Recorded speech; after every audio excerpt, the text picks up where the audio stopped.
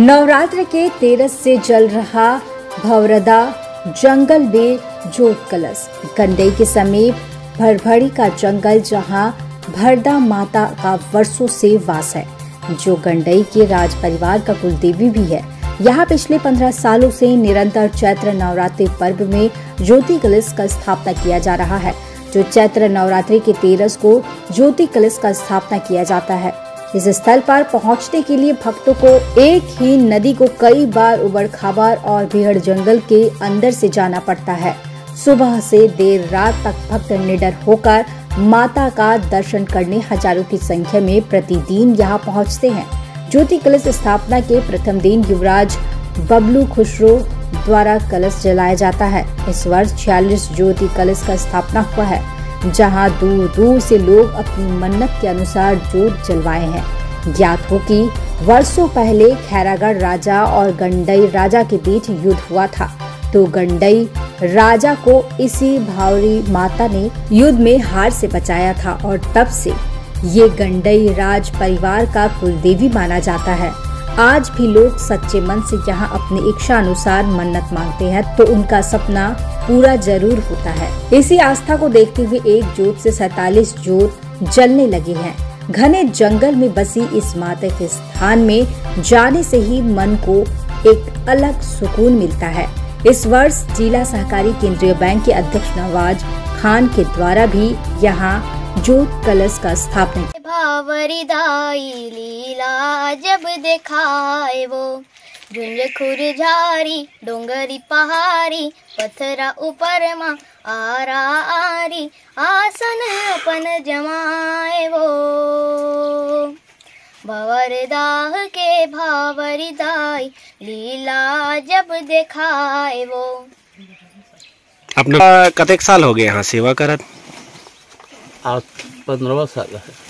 और शुरुआत जब यहाँ आप करे हो तो कतेक ज्योति कलश से शुरुआत हो रही? शुरुआत में एक रही से हाँ लेकिन माता कृपा से अट्ठारह जोत हुई और अभी वर्तमान में कतेक जोत जलत है अभी वर्तमान में सैतालीस जोत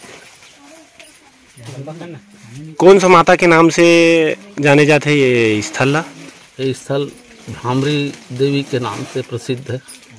ऐसे माने जाते हैं कि यहाँ हमारे यहाँ जिन क्षेत्र के हमारे राजा है ओखर मन के कुल देवी माने जाते माता ला तो एक बारे में थोड़ा सा बताओ संक्षिप्त में। कुल देवी तो है। माता लक्ष्मी का रक्षक ही है भ्रामरी मैया। और ये स्थल में बताया जाते कि माता भंवर दा के भी बहुत से ऐसे जगह है जिना दर्शन देते भक्त मन ला भावर के रूप में तो वो स्थल मन हा बारह महीना रही कि यही समय मन में बस दर्शन होते? यहाँ? यहाँ। यहाँ तो बारह महीना रहते लेकिन संख्या कम रहती और यहाँ यहाँ जिन ज्योति कलश के स्थापना होते ओला आपे मन के द्वारा जलाए जाते कि यहाँ के जिन राजा मन है जिनकर कुल देवी माने जाते हैं मन? राजा साहब के पूर्ण सहयोग रहते ज्योति तो मैं ही जला था। जैसे शहर से बहुत लगे हुए अंदर क्षेत्र है जंगल के ये है। और अतिक जंगल में व्यवस्था के कमी के अभाव में आप मन कैसे सेवा भजन माता के करते हो? पूरा नौ दिन तक के आप मन ला का का तकलीफ़ के सामना करे पड़ते? अब तकलीफ़ तो है नहीं सेवा में।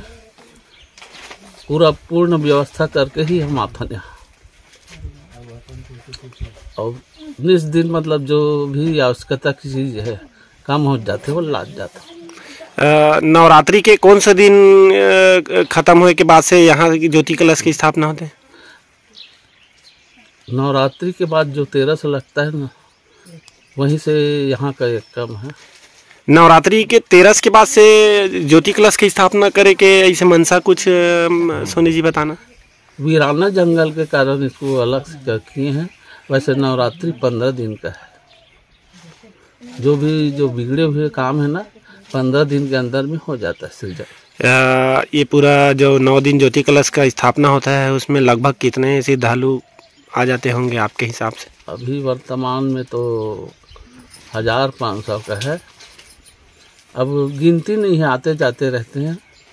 अष्टमी के दिन ज़्यादा रहते हैं भीड़। अपन नाम बताओ। क्या क्या है? गंडई से रवि रजक सी टीवी।